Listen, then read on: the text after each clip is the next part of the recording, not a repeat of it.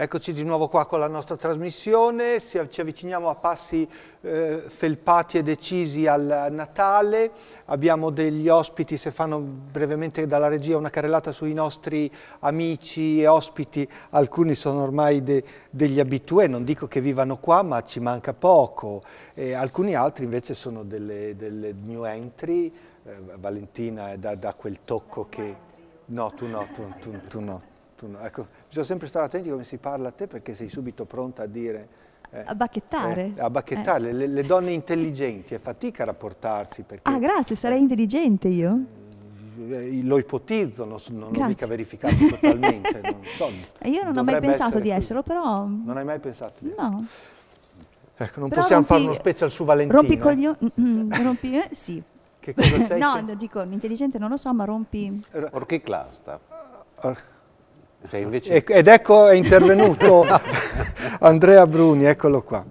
Orchiclasta non è male. Eh, è un termine più vero. Eh? Allora, il tema che affronteremo questa sera è quello della, della rinascita. L'uomo saggio dicono che, ah, dice, l'uomo saggio rinasce ogni momento. Te, te Antonio, senti di, di, avere questa capacità Ma di essere me, fresco e nuovo ogni momento? Intanto buonasera. Eh, io credo Antonio che si, Pizzurro. Si eh. rinasca continuamente. Eh, è un po' che pensavo al, a uno dei sensi possibili dell'albero di Natale. Poi alla fine ho, ho, ho forse percepito che uno dei sensi sia proprio la rinascita della terra, la rigenerazione, no? l'albero come, come elemento di, di rinnovamento della terra, però si rinasce in mille modi, eh, si rinasce creando un'opera d'arte, si rinasce eh, recitando e entrando in un personaggio nuovo, quindi dai vita a un personaggio, è un modo di rinascere. Valentina rinasce ogni volta che canta, Grazie, eh, voglio dire, mh, ci sono mille modi, poi c'è il cinema, il cinema sicuramente eh, ci, ci, ha dato tante, tanti spunti, eh, di rinascita. Sì, preciso sul cinema perché Bruni ti eh, Infatti mi tengo, mi tengo molto lato adesso perché già mi guarda male. eh, comunque eh, il cinema, il teatro, eh, sicuramente sono tutte forme di rigenerazione.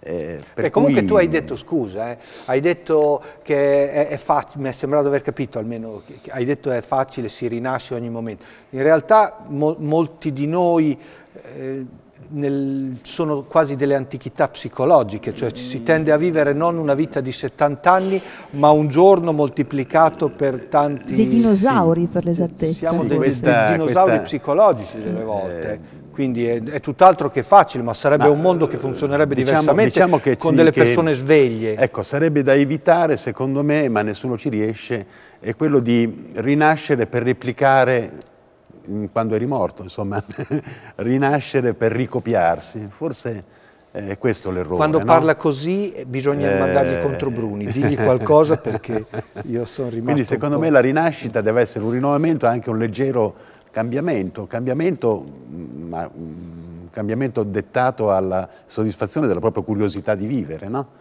Eh, è chiaro che molti di noi rinascono per replicare, per eh, per ritornare uguali, e beh, qui sarebbe un campo eh, enorme eh, su cui ragionare. No. E, quindi... e, poi in Italia abbiamo avuto il Rinascimento, cioè, che è stato poi magari riconosciuto nella sua importanza solo un po' sì. di, di, secoli dopo. Sì, quello, magari, quello, quelle sono forme un di... momento forse certo, è un esempio so di rinascita attraverso l'arte, attraverso la filosofia, attraverso eh, la cultura.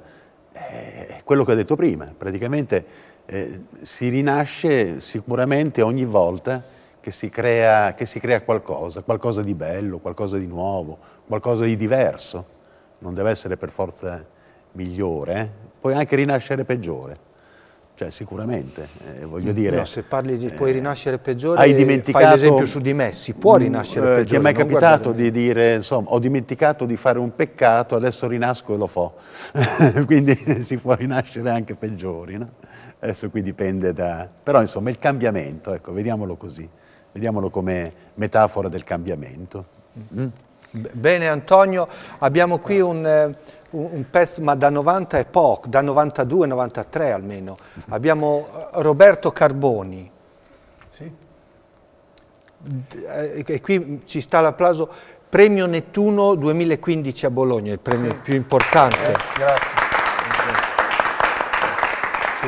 Quindi un, eh, un, letterato e, e questa, mi, sembrava, mi, sembra che sia stato il tuo settimo sì, il lavoro. Settimo, il settimo romanzo pubblicato. Eh, ne vuoi parlare un po'? Ma sì, anche perché a proposito di rinascita in realtà è strano perché io sono rinato facendo lo scrittore noir con la morte, perché non faccio altro che uccidere alla fine persone no? nei miei romanzi, per cui è stato eh, uno beh, strano beh. tipo di rinascita, però se ci pensi anche nei tarocchi il numero 13 è la morte, è, è, è, che non rappresenta la morte ma rappresenta il cambiamento. E, e nel mio percorso io ho fatto tantissime cose perché sono odontotecnico e sempre, non ho mai fatto l'odontotecnico anche se ho studiato, ho fatto il giornalaio, ho fatto il tassista 17 anni di notte, quindi ho davvero vissuto quello che è la Bologna di notte, la Bologna segreta, perché davvero non conosci Bologna finché non hai mai fatto il tassista di notte, perché eh, la notte vedi molte più cose, il canone della RAI dovrebbero farlo pagare ai tassisti per quello che vedono in macchina, non per quello che vedono in televisione. Raccontaci qualcosa di, tua, di, questo tuo momento in cui facevi il taxista, tipo qualche, un paio di aneddoti? Ah, ma la notte, la notte è tutto un aneddoto, perché in realtà non è tanto l'esperienza, perché è, è, la notte è un centrifugato di umanità, per cui il sedile posteriore è come un sacchetto scuro dalle quali tu estrai delle palline e ogni volta tu tiri fuori qualcosa di differente, per cui carichi cioè, il prete. bello, io vado in taxista e tu mi pensavi come un sacchetto scuro? la cui... notte è un sacchetto scuro e tu eri una delle delle palline che uscivano ah, dal pallina, sacchetto scuro e sì. ognuna di queste palline ha un colore differente, sono tutte estremamente eterogenee perché carichi il transessuale, poi carichi il professore universitario, poi carichi le persone che tornano a casa dal, dal teatro e è incredibile perché delle volte ti fermi a parlare con delle persone che sembrano assolutamente impensabili a livello di emozioni, perché quello che conta non è tanto quello che ti, quello che ti raccontano, ma è l'emozione che rimane dentro di te, è quello che ci fa vibrare, perché l'emozione poi finisce per far parte del tuo repertorio. E, e, e, la notte mi ha lasciato veramente tanto perché mi ha fatto conoscere persone che non immaginavo neanche potessero esistere al mondo con una varietà del genere. Beh, e quindi, guarda, adesso tu non fai più il taxista perché chiaramente sì, ti, ha, ti hanno chiamato gli editori, è un peccato perché avresti continuato ad arricchirti di, di sì, me ne ho raccolte Storia. comunque talmente tante che credo di non avere problemi per i prossimi 100 romanzi, perché la, la, Bologna, cioè Bologna già di per sé è una dei, dei, delle città più misteriose del mondo, se ci pensi, perché c'è questa dicotomia. Pensa alla scuola noir bolognese, che è stata negli anni Ottanta una delle scuole più importanti del mondo per quello che riguarda il noir, no? Eppure questa città... Quella anche con Carlo Lucarelli. Con Lucarelli, con Machiavelli, Marcello Fois, eccetera. Eppure sì. se ci pensi è una delle città più accoglienti del mondo perché per l'università, per i portici, per cui c'è questa dicotomia fra la Bologna diurna, eh, estremamente accogliente, luminosa, e la Bologna notturna, estremamente misteriosa. Per cui, e, e, ognuno si pone la propria domanda, ogni scrittore si pone la propria domanda del perché Bologna abbia quest, questa particolare dicotomia, appunto. Machiavelli, per esempio, nei sotterranei di Bologna dice che Bologna sembra architettonicamente costruita apposta per essere misteriosa. E, e, e io cioè, la... tu dici, perché io stavo proprio per farti questa domanda, dico, ma non, di notte non è qualsiasi città o paese più misterioso proprio col fatto che è eh, nascosto? E, da... allora perché per esempio è nata la scuola noir a Bologna e non a Napoli o a Genova, che sono città che hanno il porto, città che ti, ti portano a, a, a, pensieri più misteriosi, no? pensare alla Genova vecchia, pensare a Napoli. Invece no, a Bologna perché? Prova ad andare, a me è capitata un'esperienza, sono stato invitato da un amico che è proprietario di un castello e, e questo mio amico mi ha fatto vedere il castello, giravo con lui di giorno e, e lui mi raccontava tutte le storie del castello e sembrava raccontate da lui che dovessero far paura, invece il castello era qualcosa di estremamente accogliente in una bella giornata primaverile. Poi loro sono usciti, io sono rimasto nel castello a scrivere e quando è venuto buio e io ero da solo dentro il castello, mi è venuta una pelle d'oca che ci potevo grattugiare la forma, perché il castello è diventato veramente il castello di sera e a quel punto è diventato se stesso e mi faceva veramente paura vedere questi saloni, le armature, i quadri che mi guardavano, no? era inquietante. Ecco, Bologna, se tu esci dal centro, sali, vai a San Michele e guardi di sotto a San Luca e guardi la città, finché è giorno non percepisci la Bologna che conosciamo tutti, ma quando viene sera ti accorgi di quanto ti sembri veramente sotterranea, di quanto i portici diventino misteriosi per queste luci, color ocra, una diversa dall'altra, e sembra davvero una città sotterranea. E se scendi senti veramente la medievalità che ti respira addosso, senti tutto il suo mistero, senti tut- tutta questa cosa te la senti sulla pelle, è elettrica. Caspita. Posso dire una cosa? Poi. Arigato. E no, ma in riferimento a quello che lei stava dicendo. Cosa eh, ti metti a pregare adesso? No, beh, ci stiamo avvicinando, cioè siamo ormai adesso alla fase natalizia, mi sembra, mi sembra anche giusto. No, volevo sottolineare un fatto. Eh, lei ha citato la scuola. mh, Ci possiamo anche dare del Noir. tuo, eh. Hai citato la scuola noir Quando eh, ti dà del lei sta per offenderti. bolognese e siccome ho avuto la fortuna di eh, frequentare il gruppo, il gruppo Gruppo 13, 13, certo. eh, Beh, c'è mh, tutta questa pausa per... Potevi dirlo subito, cioè, eh, cioè, ci crei la suspense, arriva... cioè, apre eh, parliamo- eh, beh, eh, scusa, la suspense ma parliamo- creata. ma- ma- ma in questo caso qui non ci vuole la suspense. denti. Eh, eh, mi sembrava un, un atto dovuto. E, e il gruppo 13 è nato sicuramente grazie a- all'estro e alla capacità, potremmo dire quasi tra virgolette, imprenditoriali eh, di eh, Carlo Lucarelli, Certo. eh, che eh, ha seguito con intelligenza eh, la lezione di Loriano Machiavelli. Certo. Eh, e quindi il discorso legato proprio alla Bologna sotterranea, cioè quindi quella delle cantine, Vero. dei cunicoli, eccetera, eccetera, è stata proprio la base fondante eh, dei primi incontri del gruppo 13 che avvenivano nel castello Sì. di Lucarelli, eh, che eh, di notte diventa il maniero gotico Esattamente. a cui tu facevi riferimento prima. Era una nota di colore legata Una al nota, gruppo 13. A Bologna poi anche sui canali Ecco, no? Certo, una- infatti, certo, certo. sotterranei, Sì, sì. è ancora di più una città che eh, così ha del mistero. Ne ha tantissimo. È una delle città del triangolo magico, ha tantissime caratteristiche. Infatti le tre scuole poi fondamentali italiane di Noir sono state Bologna col gruppo 13, a Milano la scuola dei Duri, capitanata da Andrea Pinkez, e naturalmente il neo-noir romano, che è stata la letteratura che è nata dal, dal post-cinema di Dario Argento. E per capire l'importanza del noir italiano basta pensare che il termine neo-noir in realtà è stato coniato da, un- da una newyorkese in una tesi di laurea, per cui viene da oltreoceano, è stato sta- là che hanno stabilito il, il- il- termine neo-noir per questa letteratura particolarmente violenta, che appunto è la, è la frangia più violenta del noir, ci siamo. Ma quanto il noir poi sia urbano per capire quanto è legato alla città, perché mentre il giallo, il protagonista del giallo è il cervello dell'ispettore privato, ok? per cui il cervello di Sherlock Holmes, il cervello di, di- di- di Nero Wolf, quello in realtà è il vero protagonista. Invece nel noir il protagonista è sempre la città. E per capire quanto è importante, noi se leggiamo i romanzi dei noiristi di una determinata città, conosciamo la città. Perché se noi andiamo a Roma e guardiamo il quartiere Copedè, capiamo in automatico tutto il cinema di Dario Argento. Cui è, è fondamentale l'urbanizzazione, è fondamentale la città all'interno del noir. Caspita, ma lo dici con una passione, si vede, coinvolge anche la, la Eh tua beh, ma passione. è, è la mia vita, la scrittura. E che, che poi, eh, io mi immagino tu quando facevi il taxista, ogni persona che portavi, ti fermavi, non trovavano più il numero del tuo taxi, ti fermavi a scrivere. e- È capitato. Eh, è capitato perché avevi paura di, di- di perdere degli elementi, capitato. per cui appena sceso questo, questo no, no, povero in Cristo, macchina al tu semaforo anche, col dittafono. li registravi. Tu, Li registravo mentalmente.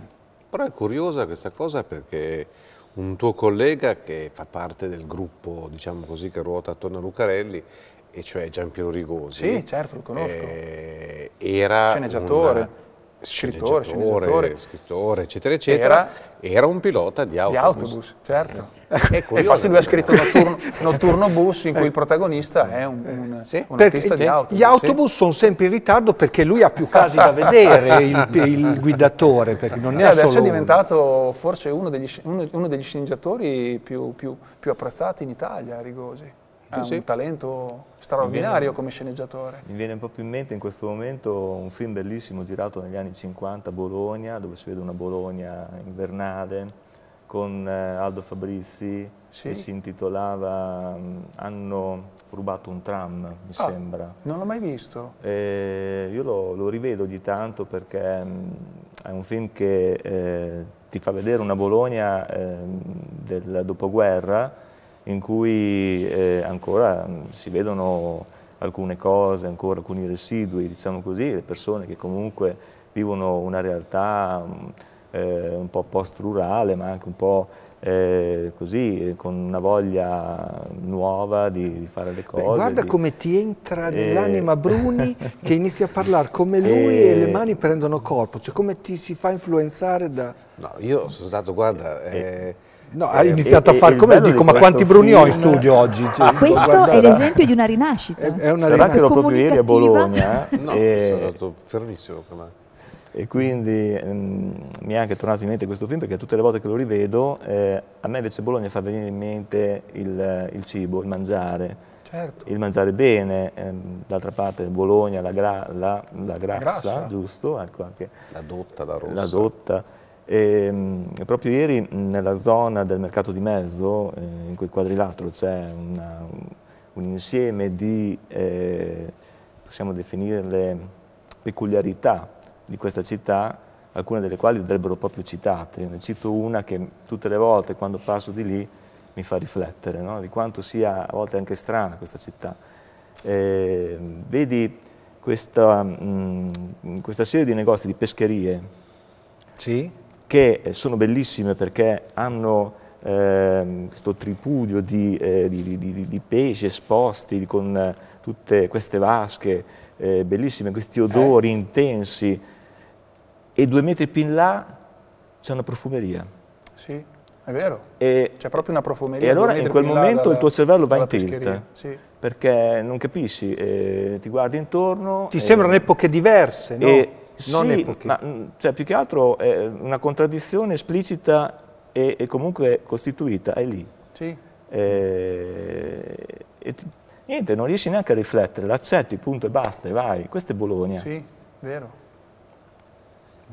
E, mm, secondo me, se vogliamo parlare di rinascita, tutte le volte che passo di lì, per me è un po' un rinascere, effettivamente. E poi a proposito di rinascita, perché eh, Bruni conosce così bene la- il percorso, per esempio, anche di Lucarelli? Perché eh, Bruni eh, recita, io ti ho conosciuto che eri attore nella, Sì, nel teatro no, Compagnia delle no. Feste, mi sembra, no? E la compagnia delle feste di Mordano. E, e c'era Lucarelli che vi e- scriveva in fretta e furia le, le commedie, perché aveva un mucchio di con- altre cose da fare. Lucarelli che scriveva le commedie, tutte di ambientazione medievale. E voi mandavate il regista Eh. Lucarelli, fai presto a darci il copione che andiamo in scena tra un mese, dopo do- non ce lo puoi dare l'ultima settimana, mi ricordo che E c'era peraltro avevamo questo un- problema. Ma avevamo anche il, il regista che potremmo invitare perché era qui di, Bol- di, di Imola, eh, Chido Emiliani. Sì, Eh, figura molto interessante anche perché mh, da doppia vita, regista teatrale e maestro in batik. È una figura molto interessante. E, mh, e Carlo bene. è molto legato. a se, tu- se ci metti una buona parola tu lo invitiamo, va bene. Bene. sì. Chido no, è ca- ca- carissimo, è simpaticissimo anche lui. E quindi ehm, dicono che in Italia si legge poco, grazie quindi alla, alla vostra, come posso dire, al vostro talento avete avvicinato molte persone alla lettura soprattutto di gialli, come faceva Tomba con lo sci e adesso è seguito da molti Certo. meno tifosi lo sci. Sì, Beh, il, il noir, eh, a dire la verità, sta, il giallo noir sta, è un genere che non, non conosce, non conosce sosta. Forse perché si dice nel, nel teatro no, che ci deve essere il dramma personale e il dramma oggettivo. no? All'interno di, un- di un'opera devono esserci entrambi il dramma nostro e il dramma sociale. Allora questo riempie dalla tridimensionalità l'emozione. E probabilmente perché l'omicidio eh, perché di questo poi alla fine il noir in realtà parla degli abissi umani, e è facile che andando, entrando in contatto con l'abisso umano poi si entri in contatto anche con quello che è il crimine peggiore, che è l'omicidio. La differenza fra il giallo e il noir è che nel giallo l'omicidio, eh, nel giallo l'omicidio diventa un ricamo, perché poi dopo c'è la soluzione del cruciverba finale. Il noir invece è stato proprio inventato da Dashiell Hammett, che è stato un investigatore privato che è andato in guerra, è tornato a casa, si era malato ai polmoni, non poteva più fare il suo lavoro e quindi ha cominciato a scrivere di quello che sapeva, per cui dei delitti veri e propri. Per cui mentre prima il delitto appunto era un qualche cosa di eh, algebrico, di matematico, di, di, di, di, geometrico, per cui il delitto della porta chiusa, eh, chi, chi, può essere stato se la porta era chiusa, con, e, e, era naturalmente molto teatrale, con Dashiell Hammett si è catapultato tutto perché improvvisamente la porta era troppo aperta, perché era stata uccisa una prostituta che prima non si sarebbe neanche potuto dire, e, e, e chiunque avrebbe potuto ucciderla, per cui improvvisamente la porta era troppo aperta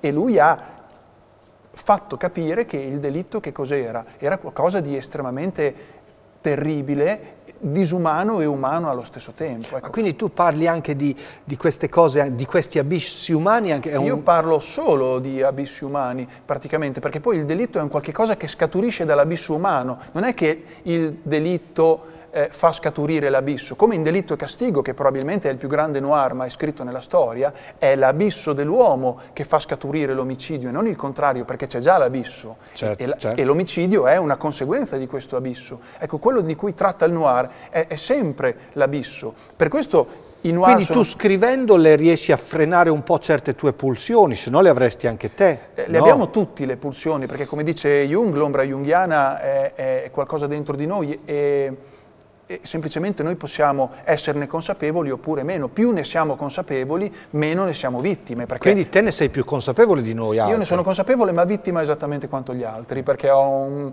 ho, un, ho un bel abisso insomma, nel, nel, quale guardo. Perché poi lo scrittore... Eh, si guarda anche dentro, perché in realtà dentro di noi c'è tutto e ci sono cassetti che noi non siamo abituati ad aprire, però li abbiamo. Ecco, lo scrittore deve andare, soprattutto lo scrittore noir, lo scrittore, mh, mm, lo scrittore noir è uno scrittore che lavora su due piani, il piano della storia e il piano della profondità del personaggio, proprio per andare a scandagliare il per quale motivo si comporta così, perché mentre il giallo ti dice una morale, per cui ti spiega fin dall'inizio chi sono buoni, chi sono, chi sono, i cattivi, il giallo postula che la società sia sana e il criminale è una mela guasta da estirpare, mentre invece nel noir, per il noir l'intera società è malata e quindi l'atto criminale è quasi un atto Bruno, di legittima. Ma tu eh, ti, ti, piacerebbe eh, comprargli i diritti, ma chissà quanto costano, e metterli in scena qualche sua opera. In scena si può mettere tutto. Qualsiasi cosa. E tutto è stimolo eh, appunto per fare, eh, per fare, una trasposizione.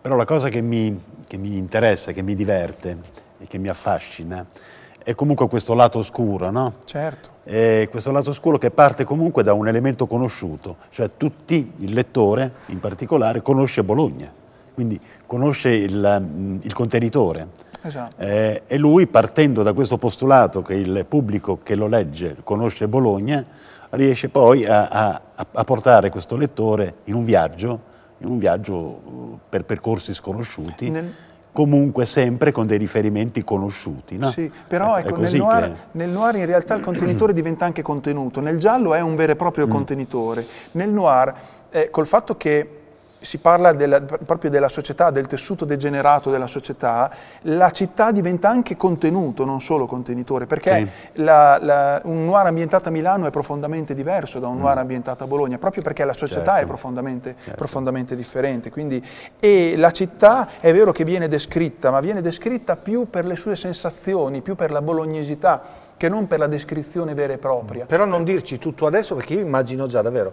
non so se quell'opera lì, perché quella magari lui adesso te la mette in scena, Bruni ha fatto l'attore, lui è attore, c'è Valentina, quindi metti in scena dove Bruni uccide Paolo e Valentina rincasando lo trova, lo trova e, No, sarebbe un delitto perfetto. Ma poi rinasco, quindi non c'è problema. Qui, la Bruna mi fa segno che tra un po' dobbiamo dare... dare a... la, la, Bruna da quando era, era simpatica, adesso che, che, ha delle responsabilità, ne, no, non è simpatica come prima, sembra, sembra un po' la maestrina dalla penna rossa, no? de, perché deve essere, alla, come i suoi personaggi, mi viene da descrivere la Bruna, deve essere sempre all'altezza della situazione e, e quando non sa fa finta di sapere. Da- da- Però adesso ci vediamo ragione. dopo.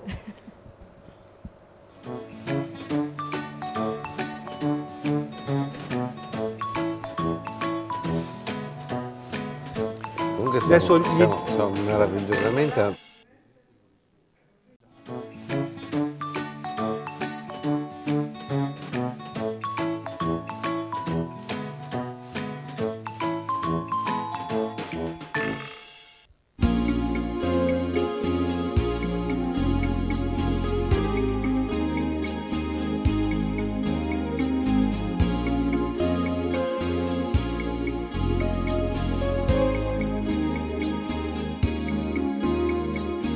Respirerò l'odore dei granai e pace per chi ci sarà e per i fornai. Pioggia sarò e pioggia tu sarai.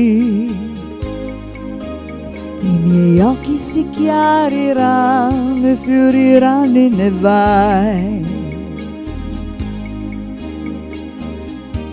Impareremo a camminare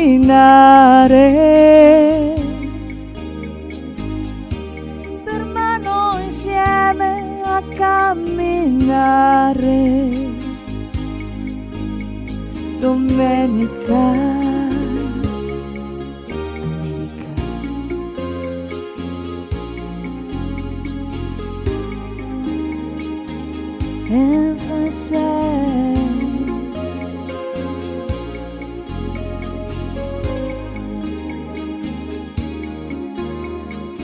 Aspetterò che aprano i binari. Più grande ti sembrerò e tu più grande sarai. Nuove distanze ci riavvicineranno Dall'alto di un cielo diamante i nostri occhi vedranno. Passare insieme soldati e spose. Dance the dark, ballare piano in controluce.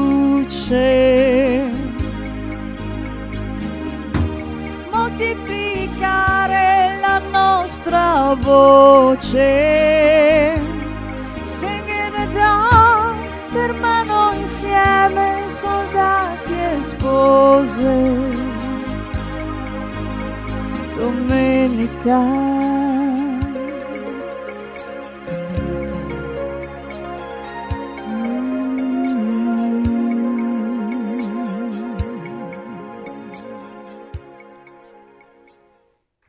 Grazie mille. Secondo me, che parla di rinascita. Di rinascita. Tra- l'altro, te, te, Valentina sei eh, in un certo senso rinata come, come lui, vieni da altre esperienze. Sì, io sono rinata varie volte perché... Te ti chiamavano, lasciamelo dire a me che è bellissimo, poi dopo te approf- la chiamavano la passionaria della via Emilia. Potrebbe Detto così cosa ti, fa, cosa un po' così. cosa ti fa venire in, In mente realtà- Antonio? Appassionata della mia Emilia, eh, beh, tante Anche cose. la tigre tante. di Santa Viola però. È la tigre di Anche Santa Viola. sì. No, in realtà io Spiega ero- perché, eh no, vabbè, perché- io sono stata, sono stata portavoce eh, di un comitato abbastanza importante sulla via Emilia, per cui insomma ero, ero spesso a, a comiziare su determinati problemi che avevamo e che le varie amministrazioni succed- che si sono succedute hanno, hanno creato. Era ancora non forse la, la giunta Vital, ma addirittura No, quella da- prima? abbiamo- no. io ho fatto sia Guazzalocca che, che Cofferati. Cioè praticamente lei si è interessata di, di quel cordolo. Dopo il Cordolo, no? Perché dopo il Cordolo volevano fare il Civis, io par- ovviamente abito Santa Viola, eh, altrimenti non sarei la passionaria di Santa Viola, sarei la passionaria di San Lazzaro. e volevano fare quello che hanno poi fatto poi dall'altra parte della, della città e con, con Guazzaloca, cioè quindi il tunnel, la rotonda sopra, un macello dove era- c'era stato poi il cordolo ed era stato anche pure tolto. Quindi lì abbiamo, ci siamo battuti, quindi lì diciamo, ho iniziato a far sentire diciamo, la, la voce dei... là, eh, mi ricordo che era un po' pericoloso quello che avevamo fatto, perché vedevi del- dei, Eh, dei tram sono- che arrivavano sì, sono- in direzione, in direzione contraria alla marcia, cioè per Esatto. cui la gente sì. non capiva, ci sono stati due o tre investimenti. Ci sono mi stati, mi sembra di ricordare, se non vorrei sbagliare, ma tra i lavori prima e il- il- succe- i problemi che ci sono stati dopo la, la fine lavori, penso quattro morti, però non, non vorrei Vabbè. sbagliare su questo, comunque ci sono stati Ci degli sono incidenti pe- pesantissimi. Io stessa ho rischiato la vita, in que- in quel momento mi sono sentita rinascere, in un certo senso, perché mi vedevo arrivare l'autobus dalla parte dove non doveva arrivare, perché il cordo era, era dopo, quindi uno è abituato ad attraversare la strada in Quindi tu certa in maniera. quel momento lì stavi andando incontro perché dicevi "So- sono sbagliata io, no, è sbagliato no, no, l'autobus. era sbagliato l'autobus. No, vabbè, poi dopo successivamente volevamo fare la metro tranvia sulla via Emilia. Insomma, mi sono battagliata particolarmente Quindi in quel te non, periodo. non esiti a, a scendere in mezzo alla società civile e a batterti per quelle che sembrano cose giuste. Beh, l'ho fatto. E lo sì. farai ancora? Non lo so, perché delle volte il gioco non vale la candela, nel senso che mi sono veramente spremuta tanto in quel periodo. E... Però hai detto che hai trovato anche l'amore, perché Eh, mi sono appunto, informato. Cioè, infatti, mm, Hai trovato l'amore Tornando alla rinascita, scusami se, se faccio, tornando al il 13 per me, eh, tornando al- a quello che diceva Roberto prima, in effetti è stato un numero particolarissimo perché eh, adesso non, non cado nei particolari, ma è stato un numero che si è ripetuto nella mia, in questi ultimi cinque anni e ogni volta che arriva il 13 io cambio in un certo senso vita o aspetto della vita. Sarà. Davvero. Credimi. Bru- eh, non vorrei che scadessimo nella superstizione più che No, ma non è una superstizione questa. 13 È una casualità, non lo so, però. Bruni, succede. cosa bofonchiavi prima su questa... A parte che mi scuso se siamo un po', abbiamo perso un po' il tema, ma eh, era talmente importante, cioè abbiamo il premio Nettuno 2015, cosa facciamo? Non ne approfittiamo, non, non ci si butta in lui a capofitto? Era quello che Siamo avrebbe rinati fatto. sul tema. S- Siamo rinati sul tema. Non, abbiamo, non ho fatto vedere il titolo del libro, la- L'ammiratore, ecco. L'editore è? L'editore è Fratelli Frilli di Genova. Lui tra l'altro ogni opera cambia editore e gioca al rialzo con quello dopo, sette libri, sette editori, giusto? No, sette libri, gli ultimi, gli ultimi tre con lo stesso editore. Ecco, adesso ha trovato qualcuno che lo capisce. Sì. finalmente. Beh, delle volte. Ah, non è mica fa- è, è quasi un matrimonio il rapporto con le, Eh, non, non dico un matrimonio, ma sì. insomma è un complice, un compagno di viaggio importante. di- Loro pur pubblicando Gialli Noir, per esempio, quando hanno letto questo manoscritto, Frilli, il padre, è rimasto un po' così, ha detto mamma io non lo so mica se riesco a pubblicare un libro del genere. Poi invece l'ha fatto. Poi invece l'ha pubblicato. Bruni, sulla rinascita hai fatto una ricerca filmografica? Eh, sì, però eh, siccome siamo andati meravigliosamente fuori tema... Ma non ripuntualizzarlo perché è colpa del conduttore, il conduttore in questo caso Eh, sono no, io ma, e ma ne sta- ma va benissimo perché come si diceva non si poteva non approfittare della presenza di Roberto. E eh, questo l'ho già detto, ma tu cosa hai portato della filmografia?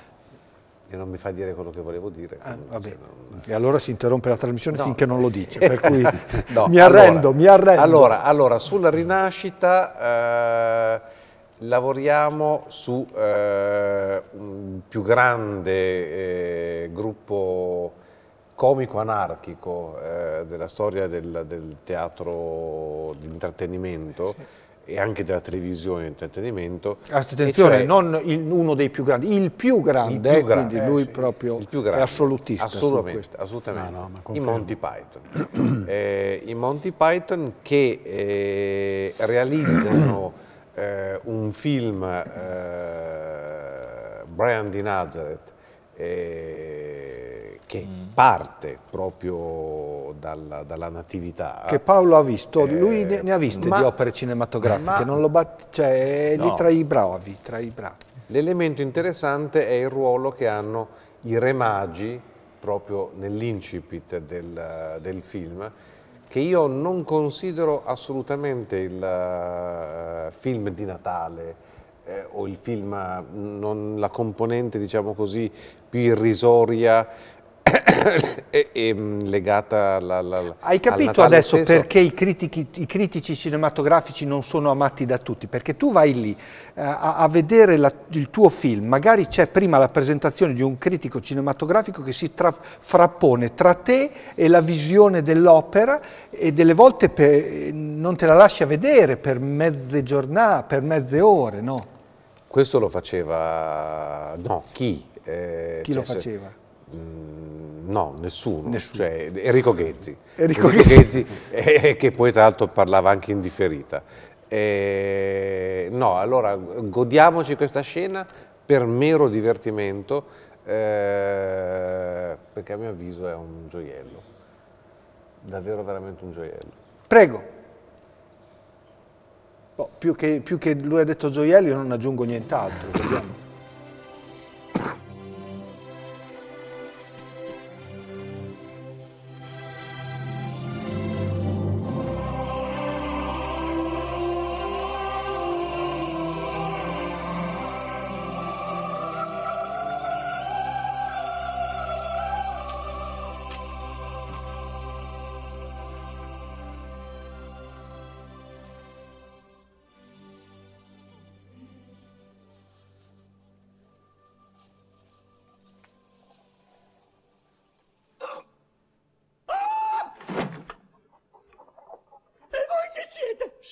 Tre re magi. Che?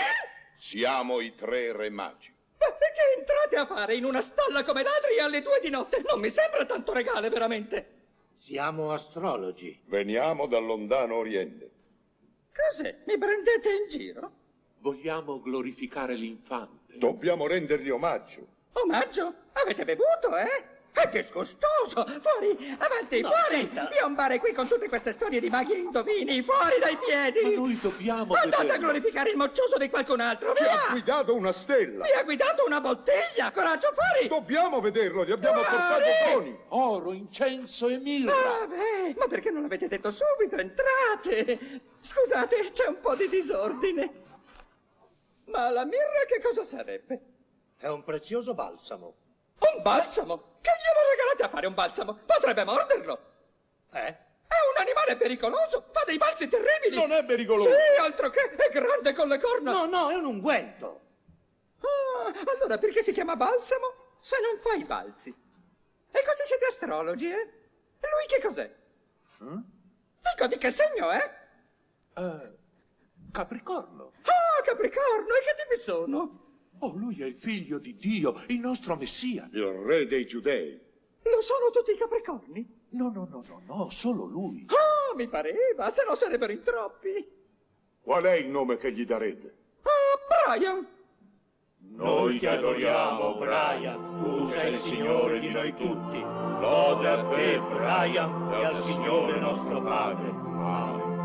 Lo fate di mestiere? Cosa? I lodatori? No, siamo i re magi. Ah, beh, se ripassate da queste parti fatevi vivi, eh? E grazie tante per l'oro e per l'incenso. Ma per la mirra non dovete disturbarvi la prossima volta, d'accordo? Grazie, arrivederci. Beh, simpatici ragazzi, eh? Completamente fusi, però. Guarda che regali! Ehi! Ehi, ma che fate? Giù le mani, è roba mia ormai! Oh!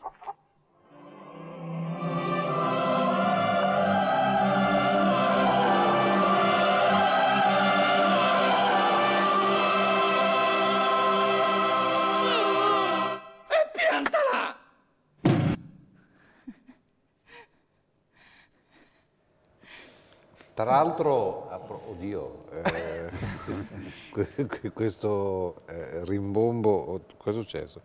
Vai, e, e, eh?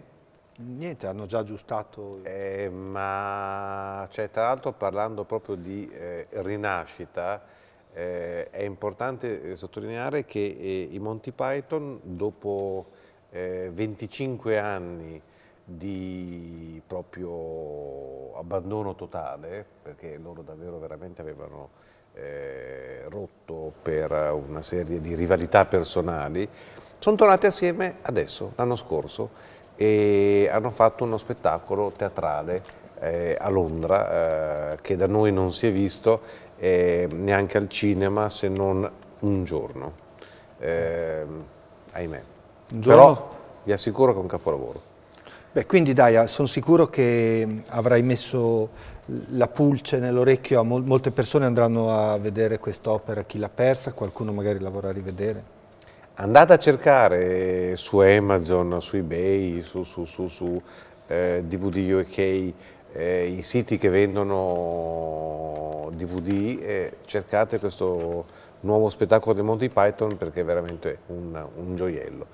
Ma a livello di rinascita, eh, visto che eh, ci avviciniamo appunto al, al Natale, eh, paradossalmente, eh, a mio non avviso... preoccuparti Paolo, parli dopo, te. Sta, sta già parlando lui nel tuo tempo, parlerai un po' meno. No, no, ma io voglio tornare. dire una cosa eh, mh, brevissima, ma eh, a mio avviso fondamentale, eh, e cioè il vero film di Natale, parlando di rinascita, è un film di John Ford, è un western, eh, Il texano nel nome di Dio, con eh, John Wayne e altri due disgraziati che eh, trovano questo neonato e attraversano il deserto eh, per eh, riportarlo alla madre e- ed è veramente il film sulla natività.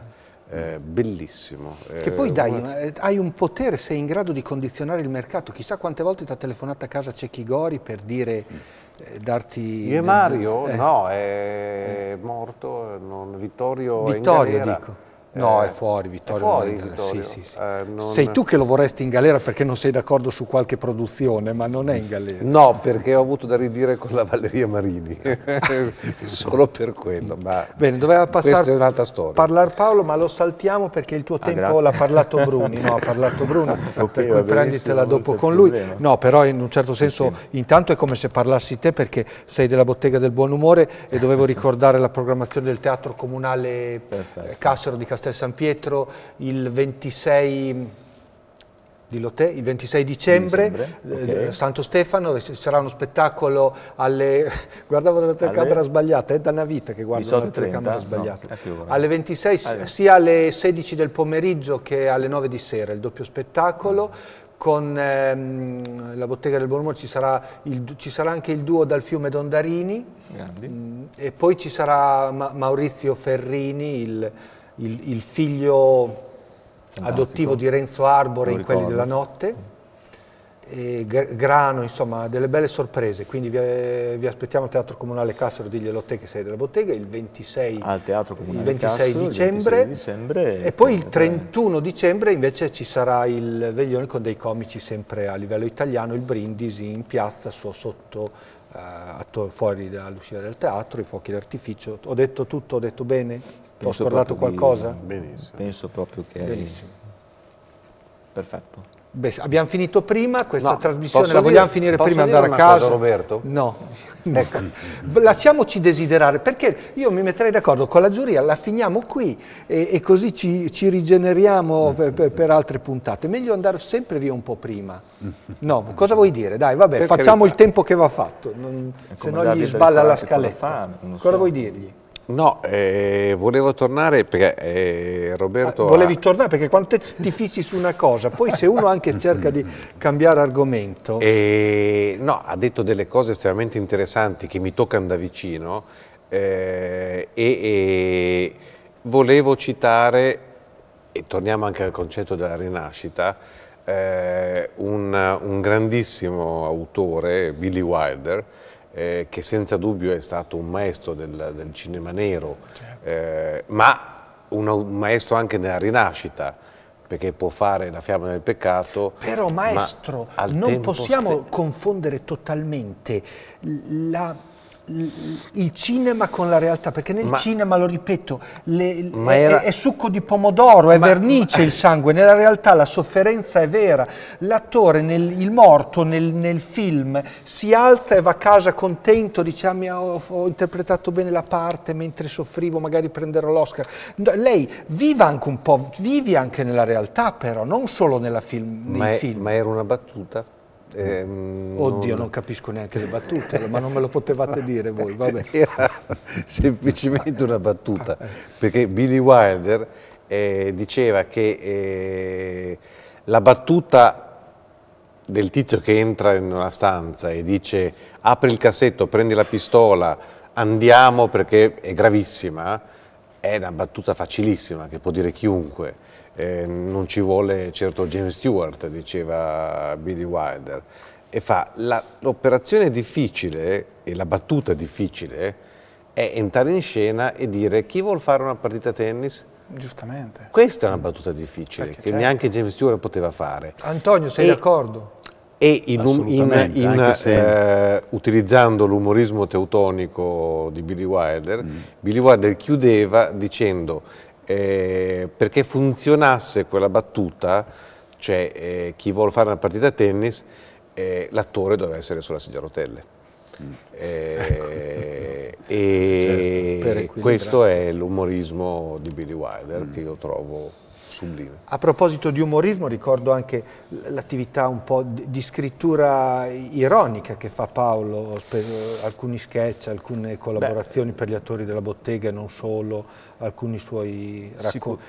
Ti occupi più del- dell'ir- dell'ironia, ti, Sì, ti aiuta a drammatizzare gli stress quotidiani. Mm, Quello sicuramente, l'ironia è un po' il cercare eh, il un po' così comico delle, delle situazioni e magari anche cercare di scardinare delle situazioni che noi tutti riteniamo normali, e assolutamente eh, non modificabili, e invece magari mentalmente ti viene da dire ma no, poi possono essere tranquillamente modificabili, non so. Posso avere Eh, un'altra prospettiva? Posso avere un'altra prospettiva, non so, per esempio io prima a casa della mia compagna ho fatto un lavoro eh, per riparare il divano, l'ho dovuto ribaltare esattamente metterlo mh, contro la parete in verticale. O io non so quando venite a qui un certo punto, sì perché eh, dovevo riparare praticamente una parte del divano. E cos'è successo? Che ho detto, beh potremmo fare una cosa comica, no? adesso quando rientra tuo figlio, è un bambino eh, abbastanza piccolo ancora, potremmo veramente stupirlo, prendiamo la televisione e la mettiamo contro la parete e la mettiamo in verticale,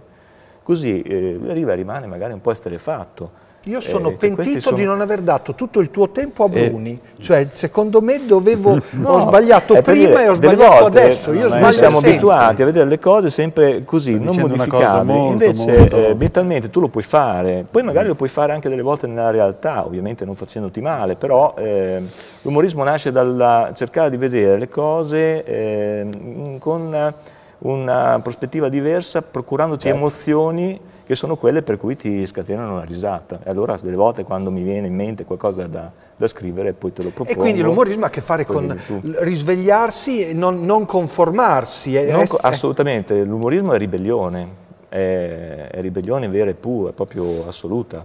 Eh, se guardiamo i fratelli Marx eh, negli anni, negli anni 30 sono un modello di, di ribellione totale, quello che facevano loro.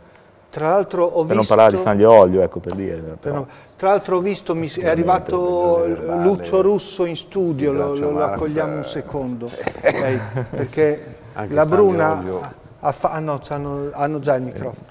Hanno fatto le convocazioni, eh, ah, viene da, da oltre Modena, tu devi venire la prossima puntata, comunque vieni a Lo salutare. Tor- C'è già abbastanza, si stanno riunendo per cercare di inquinare meno il pianeta, te sei io venuto per sbaglio. vado e spurgherò tutto la prossima volta. Va bene, te stai qui con noi eh, fino alla fine. Posso poggiare Antonio, una mano qua? Sì, ecco, ti faccio conoscere, ho visto che lo guardavi con ammirazione da fuori, se vuoi abbracciarlo, se vuoi... Hai, siamo amici, siamo amici da lunga data con Lucio. Ah, quindi ah, era per quello allora che ti guardava, dicevo, anche troppo invadente per come gli fa dei gesti, invece eravate amici. Ecco. Quindi vi- auguriamo de- buone feste, Antonio se vuoi fare la chiosa, vuoi fa- fare il riassunto di... Ma la- la, chiosa, la chiosa è molto interessante, mi volevo agganciare a quello che ha detto lui. Ehm, è interessante con l'ironia eh, riuscire a cambiare il punto di vista del, del fruitore. no? Eh, noi ci affanniamo a creare dei paesaggi, ma a volte il paesaggio basta, eh, cambia con niente, appunto cambiando il punto di vista del fruitore. E, e questa è una cosa molto interessante e sicuramente è una delle chiavi eh, che determinano la buona scrittura e che determinano il buon cinema. Quindi io mi auguro che si continui a giocare su queste Perfetto, cose. buon Natale, vi ringrazio tutti, Antonio, eh, Roberto, Andrea, Paolo e Valentina. Buon Natale. Grazie Buon Natale, grazie. con noi. Auguri.